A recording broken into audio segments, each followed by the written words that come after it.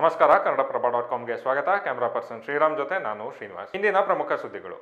ವಾರಾಂತ್ಯದ curfew, Covid ನಿರ್ಬಂಧಗಳ ನಡುವೆಯೂ ಮೇಕೆದಾಟು ಯೋಜನೆ ಜಾರಿಗೆ ಆಗ್ರಹಿಸಿ ಆಯೋಜಿಸಲಾಗಿದ್ದ ಪಾದಯಾತ್ರೆಗೆ ಕಾಂಗ್ರೆಸ್ ಇಂದು ಚಾಲನೆ ನೀಡಿತು. ರಾಮನಗರ ಜಿಲ್ಲೆಯ ಕನಕಪುರ ತಾಲೂಕಿನ ಮೇಕೆದಾಟು ಸಂಗಮದ ಬಳಿ ಕಾವೇರಿ ನದಿಗೆ ಪೂಜೆ ಸಲ್ಲಿಸುವ ಮೂಲಕ ಕಾಂಗ್ರೆಸ್ ನಾಯಕರು ಪಾದಯಾತ್ರೆಗೆ ಚಾಲನೆ ನೀಡಿದರು.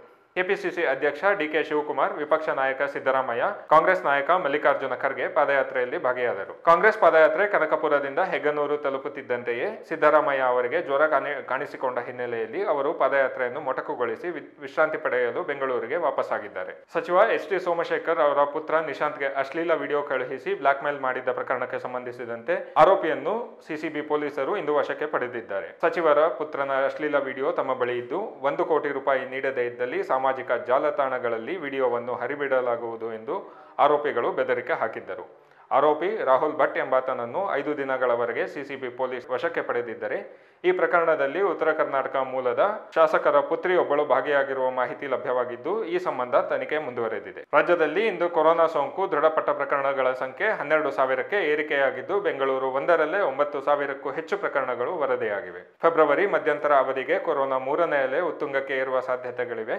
ಅಪಾಯವಿರುವ ರಾಷ್ಟ್ರಗಳು ಹಾಗೂ ನೆರೆ ರಾಜ್ಯಗಳಿಂದ ಹೆಚ್ಚು ಜನರು ರಾಜ್ಯಕ್ಕೆ ಬರುತ್ತಿರುವುದೇ ಕೋವಿಡ್ ಸಂಖ್ಯೆ ಹೆಚ್ಚಳಕ್ಕೆ ಕಾರಣ ಎಂದು ಆರೋಗ್ಯ ಸಚಿವ ಡಾಕ್ಟರ್ ಕೆ ಸುಧಾಕರ್ ತಿಳಿಸಿದ್ದಾರೆ. ಅಕಾಲಿಕ ಮಳೆ ಹಾಗೂ ಕಚ್ಚಾ ಸಾಮಗ್ರಿಗಳ ಕೊರತೆಯಿಂದಾಗಿ ದಕ್ಷಿಣ ಕನ್ನಡ ಮತ್ತು ಉಡುಪಿ ಜಿಲ್ಲೆಗಳಲ್ಲಿ ಜಾನುವಾರುಗಳ ಮೇವಿಗೆ ಕೊರತೆ ಉಂಟಾಗಿದ್ದು, ಏಳ್ನೂರ ಮೂವತ್ತ ಮೂರು ಹಾಲು ಉತ್ಪಾದಕರ ಸಹಕಾರ ಸಂಘಗಳ ಒಂದು ಲಕ್ಷಕ್ಕೂ ಹೆಚ್ಚು ಹೈನುಗಾರರು ಮೇವಿನ ಕೊರತೆ ಎದುರಿಸುತ್ತಿದ್ದಾರೆ. ಇವು ಇಂದಿನ ಪ್ರಮುಖ ಸುದ್ದಿಗಳು. ವಿವರವಾದ ಸುದ್ದಿಗಳಿಗಾಗಿ ಕನ್ನಡಪ್ರಭ ಡಾಟ್ ಕಾಮ್ ನೋಡಿ, ನಮಸ್ಕಾರ.